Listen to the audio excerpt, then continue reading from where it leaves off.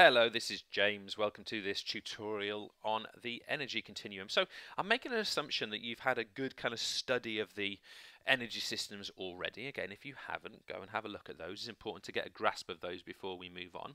And you know, assuming that you have and you understand what the PC system, the lactic acid system, and the aerobic system are and what they do, let's crack on with this concept of an energy continuum.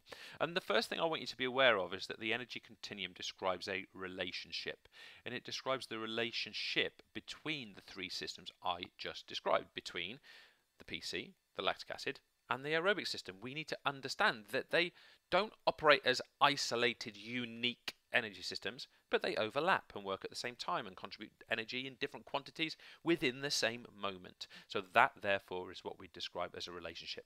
And therefore we have a definition and it is this. And I'll get this in your minds, remember it, write it down, study it, memorize it. It comes up in your exam, you need to write it down exactly like this. So it is the relative contribution, so of course relative meaning, you know, how much each system is contributing, the relative contribution of all three energy systems to the resynthesis of ATP. So we already know that three energy systems, their job is to resynthesize ATP.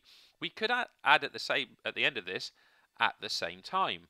Okay, and I'll show you in a few moments' time that they all operate concurrently at the same time. So, remembering that, we already know that we have something called the PC system.